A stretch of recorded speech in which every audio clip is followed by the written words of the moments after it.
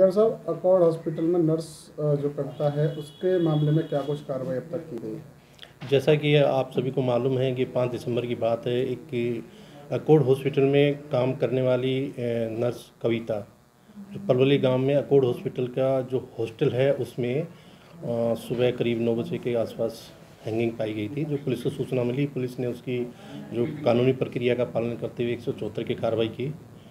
और बाद में परिजनों को सूचित परिजनों को सूचित करने के बाद परिवारजनों ने बताया कि उनकी जो पुत्री है, उन्होंने अपनी माँ से बताया था कि एक आशीष नाम का लड़का है जो उसे बार बार परेशान कर रहा है, शादी के लिए प्रेशर डाल रहा है, जिसकी वजह से वो उसने सुसाइड कर लिया। तो इस संबंध में इस तीन सौ छः का मुकदमा दर्ज कर लिया है आत्महत्या को उकसाने के लिए। और उसके बाद उसका आरोपी आशीष उसको अरेस्ट कर लिया गया है पुलिस द्वारा।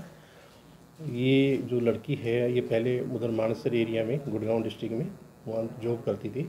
अभी वो अकोड हॉस्पिटल में आई थी पिछले पाँच छः महीने से।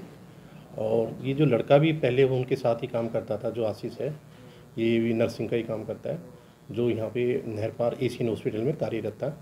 और ये करीब पैंतीस वर्षीय युवक, ये जो छब्बीस वर्ष की जो कविता है, इसके साथ इसका जो पहले से जान पहचान थी बातचीत थी ये शादी करना चाह रहा था और उस पर प्रेशर डाल रहा था तो लड़की शादी करना नहीं चाहती थी। उसी की वजह से उसके परेशान करने की वजह से उसने अपने फांसी लगा के आत्महत्या कर ली थी। तो फ़िलहाल आरोपी को गिरफ़्तार कर लिया गया है या नहीं आरोपी को गिरफ़्तार कर लिया गया है। आज उसको गिरफ़्तार करके कोर्ट में पेश किया जा रहा है। आगे जो भी उसकी कानूनी प्रक्रिया होगी उसका पालन किया जाएगा।